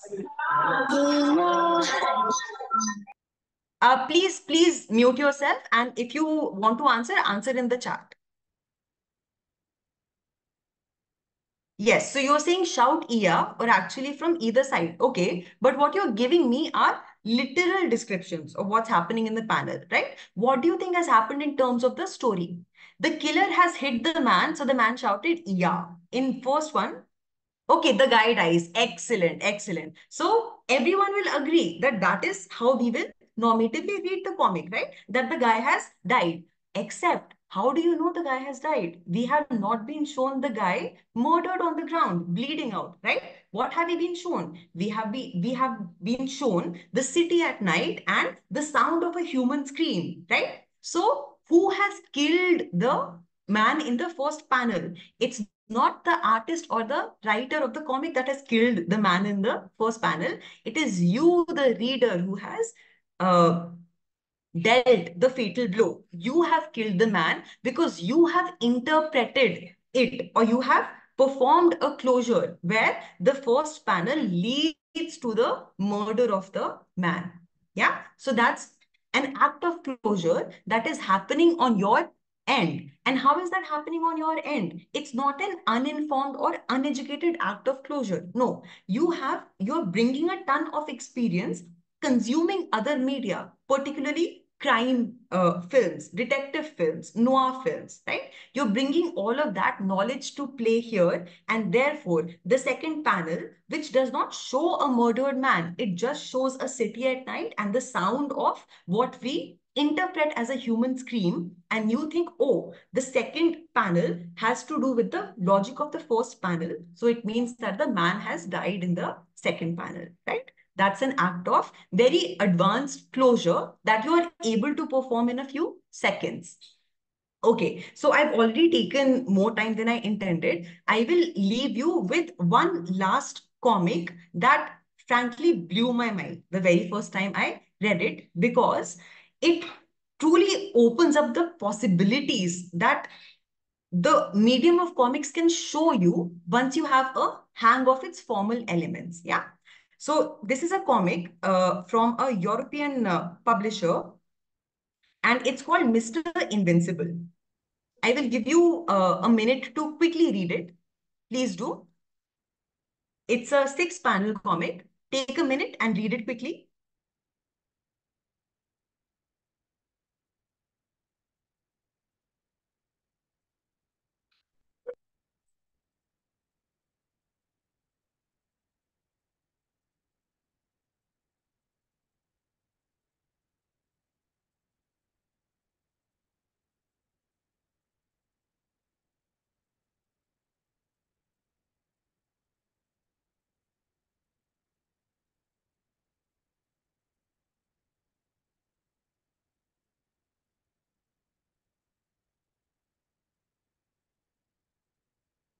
Is everyone done? Okay, I will assume that everyone's done. So now, what happens within the space of these uh, six panels? In the first one, you have an elderly man whose cat has apparently climbed uh, a tree. And now the cat is out of the man's reach.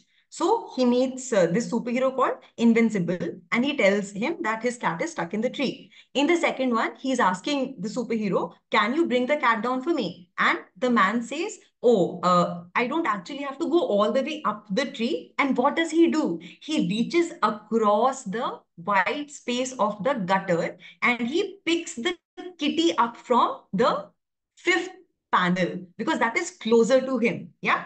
So in the third one, he brings the kitty that he has picked up from the fifth panel and he gives it to the man. In the fourth one, the man ends up with two cats and he says, oh, what? What's happening? And then what does Invincible say? Invincible says, no, you don't have two cats. You actually only have one cat. It's just that our panels have not synced up with time or reality yet. And of course, in the next panel, you have the overlap between panel 2 and panel 5. You have Invincible picking the cat up. The cat is going out of the frame. And in the last panel, the man is left with one cat and one cat alone. Yes. When I read this comic, I did not know that you could play with space and time on a two-dimensional page like that. Yeah. So if you had to put a title or a tag to this story, you might call it science fiction. Yeah, because through a very through very few smart choices being made with placement, with the reaching across gutter, the comic has completely scrambled our sense of space and time. And now within the space of these panels, everything seems possible. Yes. So this is why we focus on the form of something like comics as a medium because it is the form and it is a it is the mastery of this form that will open up its possibilities for you. And the possibilities are immense. We have only just started exploring those. This is not a medium that is going to die out anytime soon. It has been here for a couple hundred years already. Longer actually if you count uh, uh, uh, other forms of uh, sequential art like the Bayeux tapestry. And we've only just now gotten started. So I'm very, very excited and hopeful for the future of comics as a medium. And hopefully I've been able to convey some of that to you this session. So that brings us to the end of this particular session. Uh, I'm open to any questions that you might have. And then we have a short quiz for you.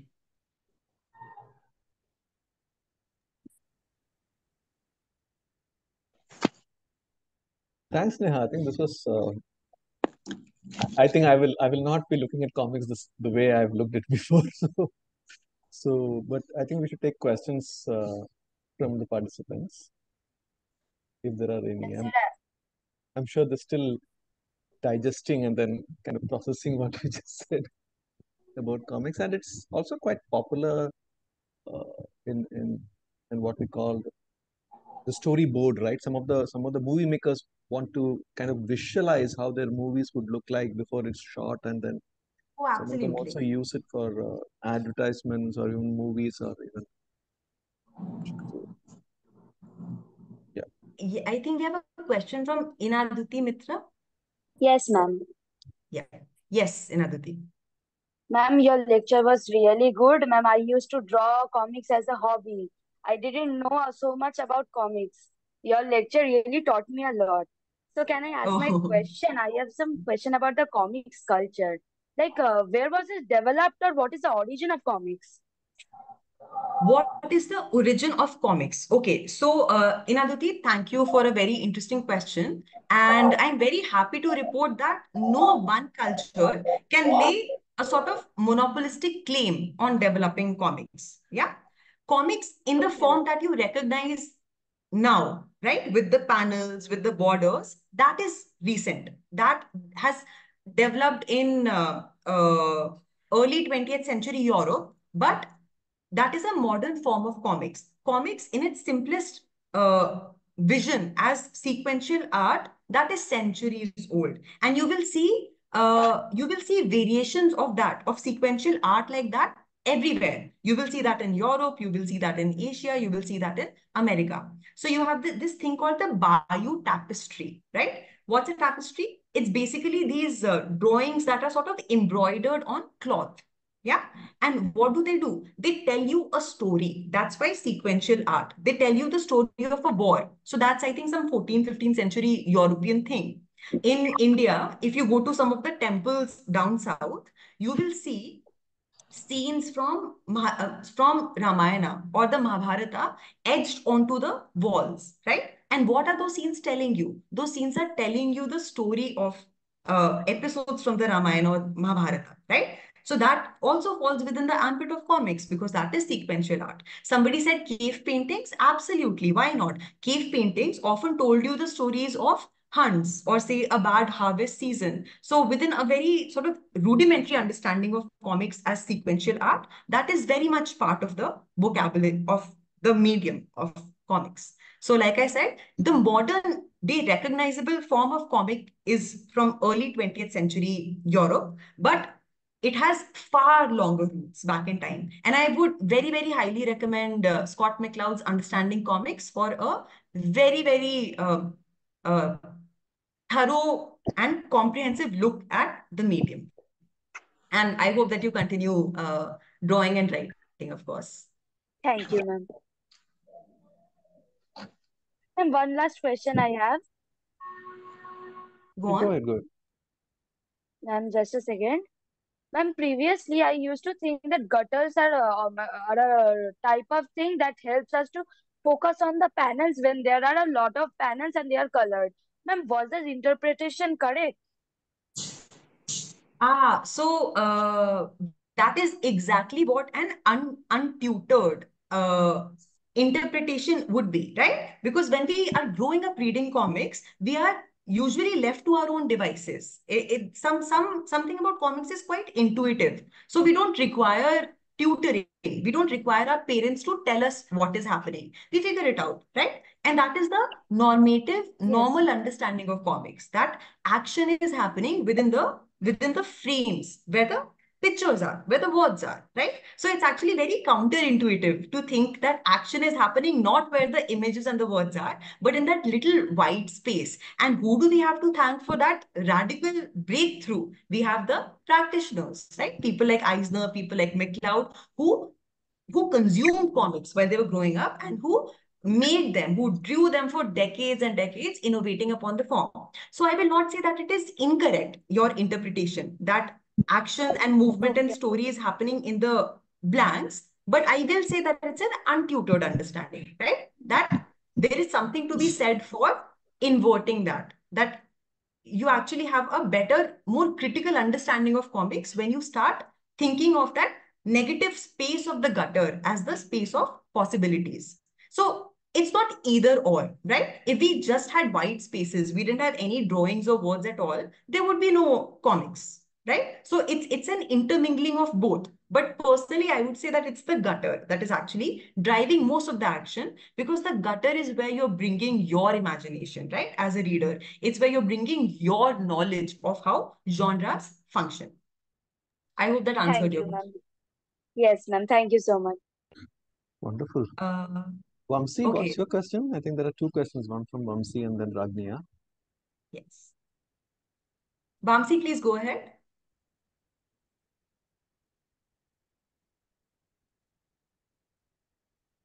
We'll go to Ragnia. Uh, there are actually a couple of questions in the uh, chat box. Chat Can I address also. those? Please do, Okay. please. Uh, Eisner as the father of comics. Okay. So uh, I, I will have to tell you about this particular uh, uh, bugaboo of mine. I don't like it when uh, somebody is referred to as the father of something because what that usually ends up doing is removing the mother out of the picture, right? Things are rarely very black and black and white like that. I it's it's very rare that you know you can uh, you can pinpoint one particular man in time as the creator of something. Creation is often a collective effort, right? And we know that in history, the effort of a lot of women, of people of color is sort of erased. So Eisner is very, very important to our modern day understanding of comics. Eisner is very important to the tradition of American comics and American cartooning, but Eisner is not the father of comics because I don't think there is any father figure anywhere, right? It's it's a collective effort. We build upon who came before us. And the histories are always partial, right? The women who have contributed to this field have often been written out, and we are only now starting to find their traces. Okay, what are some of Eisner's famous comics? So Eisner is actually credited with uh, writing the very first uh, graphic novel in the world. It's called A Contract with God. A Contract with God. I will type it out in the message, and it's a it's a great piece of work. It's very very good. So I will recommend that you start from there. What are some of my favorite comics. Okay, so uh, my PhD dissertation was on uh, uh, Indian graphic novels, and I was very lucky to come across very cutting edge work from modern day Indian artists. So one of my all time favorites and one that I can recommend to everyone is uh, this graphic novel called Kari, K-A-R-I, by uh, a Goan artist called Amruta Patil. It's the story of a woman who doesn't really fit within heteronormative standards. She moves to a city that is not named, but that's very clearly Mumbai. And it's a story about her finding herself, you know, the struggles of finding a house, the struggles of dealing with parental expectations of what your life should look like, all of that. It's a beautiful piece of work. Kari by Amruta Patil. Can you share the link for the quiz? Yes, I can. Uh, I think Sadaf is going to share I'm sharing the link. oh, okay. I, I, I think my colleague Sadaf is going to be sharing that. Yeah, I think somebody is asking the PPT. The PPT, this, is- this session is recorded. We will try to share that in some format. Uh, but I'm not sure whether I would like to share the PPT, but let us decide. Any more questions? I can see two hands raised by Vamsi and uh, Uh. There is another one that I'd like to address because I think a version of this question was also posed to my colleague Debolina, and it's a question that honestly plagues humanities. What is the use of comics in our life, right? Oh my God. Okay, that's my favorite. I'll also add later when once you say. Yeah. Go So, for it. uh, yeah. So, like I said, it's a question that plagues all humanities. Nobody ever asks physics or chemistry or bio or math teachers what's the use of this, right? You assume that those things are automatically useful. So, I will tell you what one of my favorite writers uh, said long ago about art, Oscar Wilde. He said, art is completely useless. It makes nothing happen, right? So the idea that things have to be useful to us in some way that gives us a lesson or furthers our career or gets us accolades or, or gets us money, that's also not an instinct that we're born with as humans. You know, it's a it's an idea that the this world, late capitalism, has sort of uh, built in you over decades and centuries of indoctrination. You are not, as human beings, born asking, okay, how does this help me in my career? Or how does this help me in my life? That is not a framework, that is natural or instinctive. That is a tutored response, right? So, in that way, I would like to say that art has no particular use in that way, which is honestly why art is so important because our lives are sort of controlled by what is useful and what is good and what we should be doing, all these vitamins that we should be taking, all this math that we are doing, these extra coaching classes that we are taking, right? So I think art is a wonderful uh, break from all of that. It's it's there to make you feel human. You are human. You want to connect with other people. You want to show them how you feel. You want to understand how they feel. You want to feel less alone. You want to express yourself, right? That is what art is for. So, in short, comics are also for that. Of course, I mean, you can put them to all sorts of use. Eisner used comics to show soldiers how to repair their own weapons. You have uh, these small instruction booklets that come with all your electronics, right? Your phones, TVs, washing machines. They tell you how to operate them, how to take care of them. That is useful, but that is not art. Uh, Rajgopal, you said you wanted to address that question. No, no, no. I think it's a, it's a continuation. I think this was asked to, uh, I can't remember the professor's name, and it was asked to him in a sarcastic manner. Uh, I know what is the use of humanities. That's a humanities subject in terms of language, literature, history, or philosophy kind of thing. And uh, he thought and he said, very answered very very carefully. And as you said, they were comparing with you know other uh, monetary benefits of success, you know, money and all that. He said politely, humanities could be the only reason that you may want to live. So the, I found that answer very, very powerful to say that, you know, if you look at what we're doing with all the busy business uh, world, you rely on uh, something that is softer, that suits your mind, calms your mind, which could be music, it could be art, it could be movies that you're watching.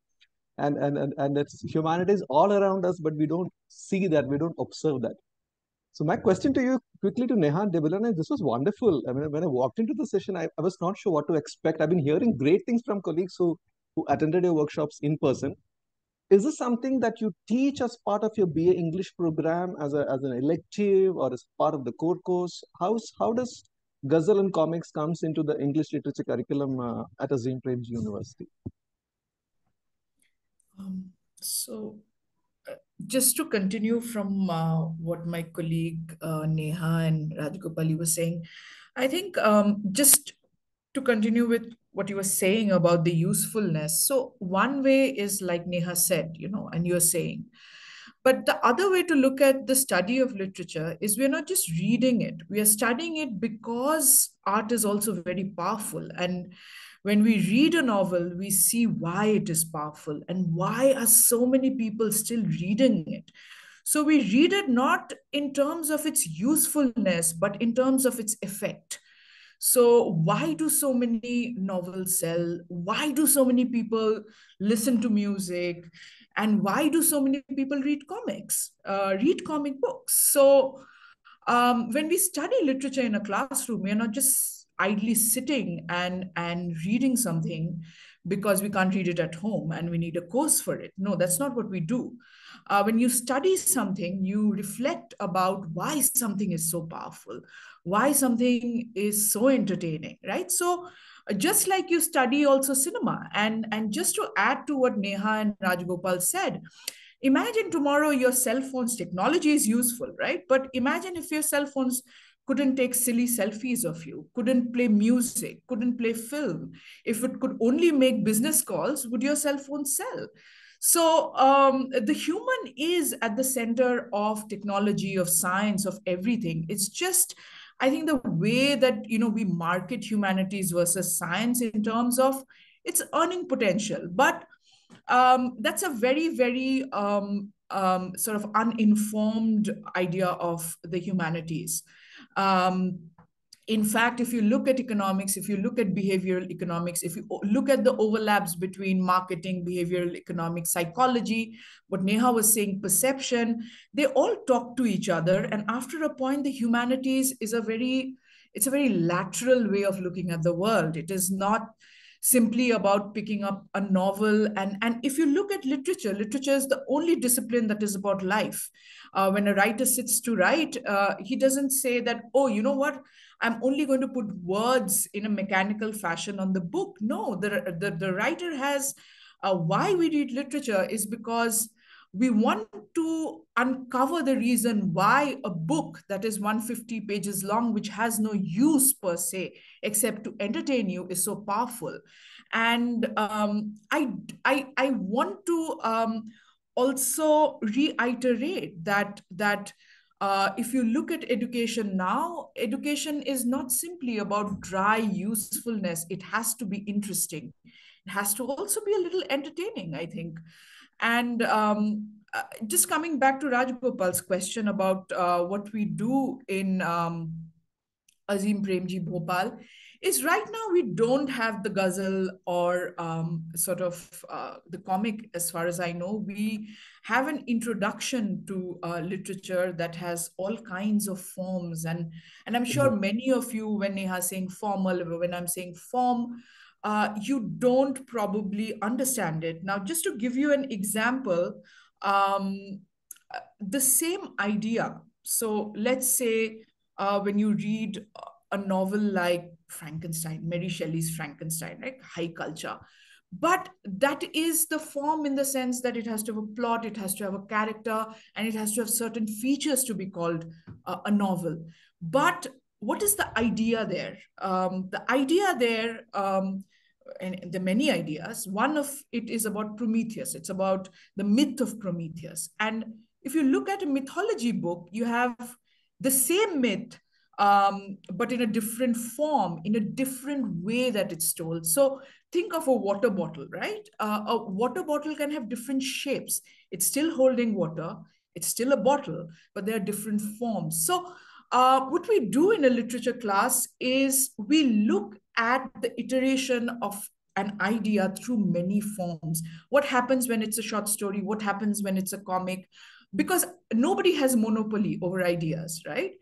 Um, so the same idea, what happens when it's a poem, what happens when it's a short story, what happens when it's a myth, and um, literature, in a sense, um, uh, is one of the only disciplines that will take these very old stories that still have power over our brains, whether it's a Mahabharata, whether it's um, Prometheus, whether it's the Greek myths, whether it's anything, and it will give you its relevance um, in today's world. Or if we are not looking at the classics, if we are looking at uh, the way we live now, uh, what about the stories that have never been told? Like Neha was saying, not just the father of comics, but also the mother of comics. What what happens um, to the to people who we did not think of as heroes? You look at um, classical literature; heroes were only men, but they were only royal men think of uh, the stories that we hear now. That's not the case.